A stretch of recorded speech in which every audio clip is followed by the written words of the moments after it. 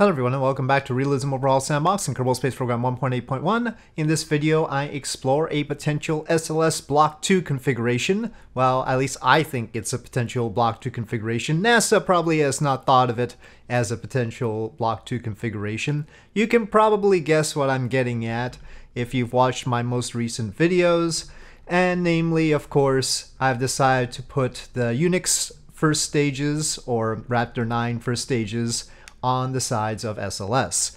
Because there's no way in heck I am ever going to launch an SLS Block 2 with advanced SRB boosters. Uh, nor do I think that it's entirely likely that they're actually going to fund F1 engines and do the Pyrios boosters either. So I think they could probably hand some money to SpaceX and get these things built relatively easily. Uh, SpaceX is going to be mass manufacturing those Raptor engines anyway, and the thrust will be sufficient. And we are going to try to use this in this configuration. So we're still, in this case, discarding the RS-25s, though I do have my little shuttle mice, and so we'll test payload capacity with the shuttle mice separately, and that'll be for recovering the RS-25s. So, but first this configuration, we are going to launch and we're going to try and send 55 tons to the moon because SLS is not really designed for launching stuff to low Earth orbit. Uh, it's not particularly optimal for that by any stretch of the imagination. So we are going to try and send the payload to the moon. And uh, well, without further ado, let's go for it. Of course, we're going to be reserving fuel in the in the Raptor stages in the Unix boosters and we'll we'll reserve 20 seconds for a return to launch site. Uh, it's possible that we could save less and have them land on a barge or drone ship. So they're not that heavy. I mean, okay, they're heavy, but they're not obscenely heavy. They're uh, fully fueled. They're 900 tons, and uh, they're obviously less without fuel. Uh, 900 tons. The regular boosters for SLS are 700 tons. So if they were ever going to put advanced boosters on, those would probably weigh more. And so I'm expecting that SLS's side mounts can handle a 900 ton booster. And these don't have. Ooh, we've got a nose cone separation issue. I was not expecting that. Why? Why is that suddenly happening? Okay, I am concerned. They aren't floating up over here. Let's see. I'm, I, I don't know. I'm, I'm gonna float a theory here. Float. And I'm gonna put a little core here. I'm gonna reroute that core.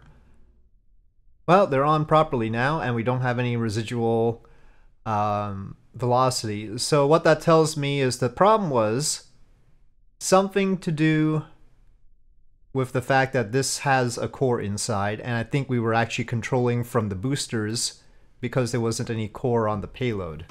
So that's my theory. Anyway, there really should be a core in the second stage here, but I did not configure the SLS rocket for realism overhaul, so... Anyway, so ignition.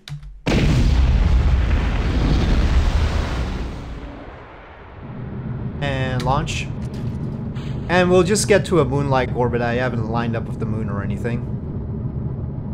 So as I was saying, the thrust of these uh, all combined, if we, each engine is uh, 2060 kilonewtons on the ground, so it's about uh, 18 meganewtons for each boosters, each booster. So that's not too much different from what an advanced booster would have. That's about the same. But these will obviously be much more efficient. Even if they go with the F1 Pyrios booster option, these are much more efficient. So we've got the fins, we've got the grid fins, we've got all the, that business. One of the nice things about these boosters is that they're sized so that the fins will not interfere with the SLS core. That was important to me. That's one reason why I didn't put 6 instead of 4. It wasn't just based on people saying that now Super Heavy was going to have four. It's because I didn't really didn't want six. Six would interfere and make it hard to use these as boosters. Another important feature of these boosters is that I sized them to 6.6 meter diameter. And that is because I know for a fact that you can ship the tanks in a Super Guppy. Because 6.6 meters is the same diameter as the S4B stage for Saturn V, which fit in the Super Guppy. Now, you probably can't uh, fit the entire thing, but you can fit the methane and oxygen tanks separately. So you can uh, use them use the Super Guppy to fly them to the Cape instead of sending them a slower method. And there's probably a lot of facilities and stuff for 6.6 meter diameter stages. I don't know how much of the old infrastructure they have left, but I mean, they have bad habit of demolishing things, but there may be some useful stuff lying around for a 6.6 meter stage. So again, we have a 55 ton payload and we're aiming to get to the moon with it. Not lunar orbit, just uh, translunar injection. Okay, throttling down. Okay, shutting off the engines and separation.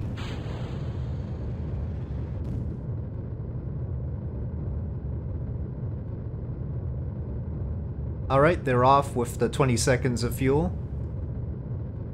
And throttle up. It's gonna be tight though. Uh, well, actually it's not, because we're probably gonna use the upper stage to finish orbit, so maybe it'll be okay. Um, fairings, I don't know if these fairings are safe to decouple, we'll see. I forget the last time I actually tried these. We'll wait until we're in space. Okay, we are in space, fairing SEP. Fairing SEP. Ooh, well, yeah, that didn't happen the way I wanted it to. We'll certainly have to work on that. Okay, um, but everything is still fine. Our payload is still there. That's just 55 tons of avgas. Okay, stage is about to end. We're really close to orbit. And separation and ignition. nozzle extension. So we might be able to carry a bit more than this. Again, we're still recovering the Raptor 9 boosters. As I'll call them interchangeably with Unix, just because people might not understand what Unix boosters are. I think Raptor 9 gives a more... a clearer explanation for what they're they're all about. We're on. We have a lopsided orbit, but I'm probably gonna declare this too much delta V. We have too much delta V. We need to put a heavier load. It seems. We've got about 600 meters per second extra that we don't need. So it can definitely do 55 tons. Let's try and put 60 tons and see if that'll work. Okay, 59.91 tons. Okay, here we go again, now with more stuff. SAS on, throttles up, ignition.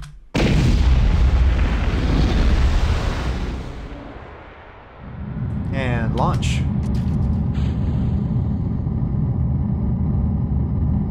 Okay, looking good so far.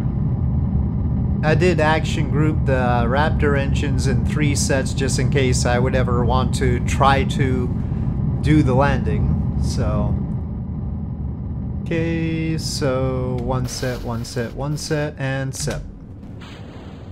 And throttle up.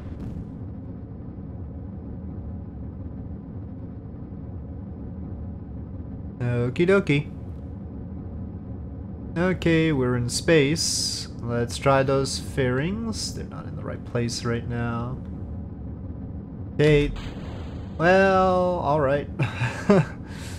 alright, that's fine. You can do that. They're good looking fairings though. I mean, textures look nice. Just need to rearrange those nodes. Okay, well we are definitely ending up with less delta V at this uh, at the end of the first stage than we had before, which makes sense because we're carrying a heavier load. Trajectory was fine. I don't think I'm going to be doing too much better than that. Okay, sep, sep.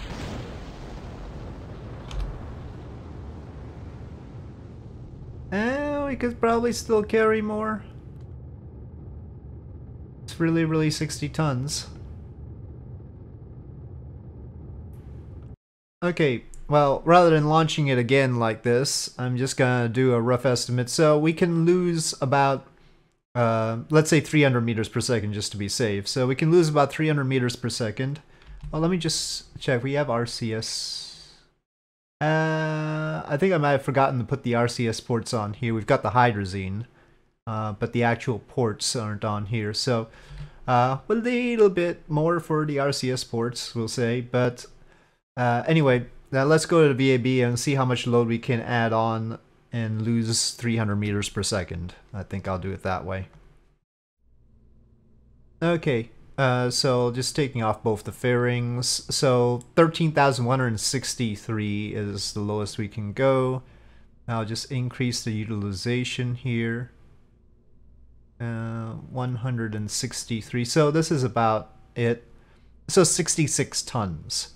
So we'll say between 60 and 66 tons is our maximum payload on this configuration. Let's try it with the version that will bring back all of the what we'll call the first stage engines. We still will lose the uh, EUS engines, of course, but at least we can maybe get back the RS-25s. Now, there is a catch to this version, and that's that the SSME returners, the shuttle mice, have to basically make orbit or get close to orbit. But we were getting close enough with our previous tests, but if we're carrying a lighter payload, and trying to use more of this tank, it's not going to work. Or uh, these tanks, I should say. It's going to be a little bit awkward because we've got separate... Well, it doesn't matter. So I'm going to underfuel this a, uh, a bit. And we still need a core, I forgot about that. Uh, that was causing problems before. Okay, so we're gonna underfuel these stages because we don't need them doing too much. And we'll try 55 tons. 55 tons there. And underfuel this more. So th these are going to be at 80% fuel. I'm going to lock them so they don't get refueled for now and unlock them later. So altogether this is a flat 140 tons, which is nice. Okay, so here we go again. SAS on, throttle is up, ignition.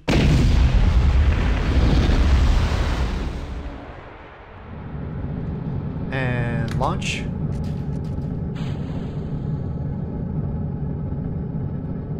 So again, now the RS-25s are inside the shuttle mice.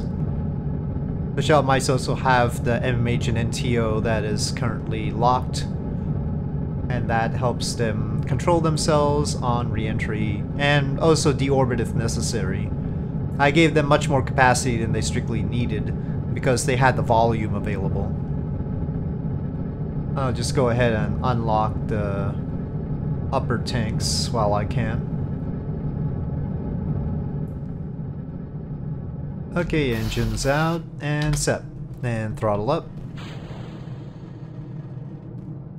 Why why is Smart ASS not controlling this anymore? uh, what happened there? That's weird. I missed the part where Smart ASS decided that it wasn't in charge anymore. Okay. Uh, fairing set. And there they go. Well, we might have to pitch up a little bit extra because Smartest, Smart ASS disengaged. By the way, the shuttle mice re-enter just fine. The only problem is that they're really heavy considering they're they have a high wing loading, so they have a very high stall speed. So it's really difficult to actually land them. Hopefully a computerized system would do better than me, but it is a it is a problem. We might need to find a way to give them some extendable wings or something.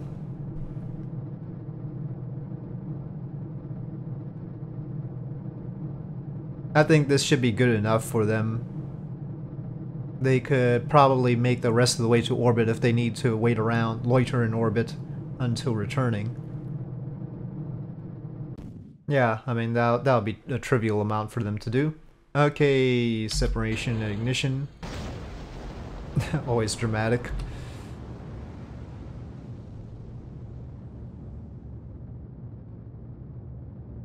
This this always seems to pop up. But somehow, just recently, this keeps popping up and Smart ASS keeps disengaging and resetting. I don't know how this has started to happen, but it started to happen. I don't know why.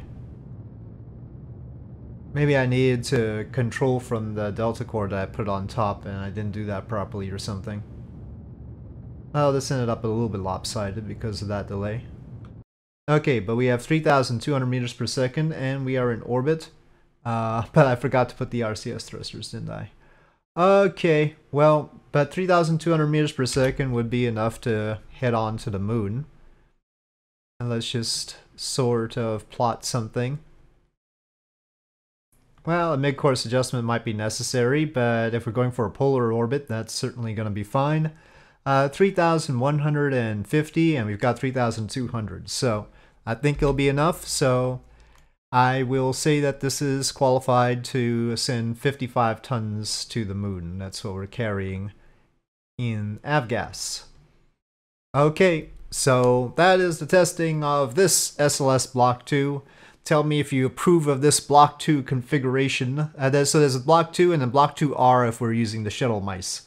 Uh, so if we want, if we really need to put SLS to this kind of use, uh, if Block 1B just won't suffice, maybe we'll slap some Raptor boosters on. Previously, I had made the flyback Raptor boosters, and those had six Raptors in each, but I decided that that was too cumbersome, and probably people would buy into the, you know, standard Falcon 9 style Raptor 9 boosters instead of a flyback booster. So, anyway, with that, I'll say thank you for watching. I hope you enjoyed this video. If you did, please do press like. If you have any comments or suggestions, please leave them in the comment section below, and I'll see you next time.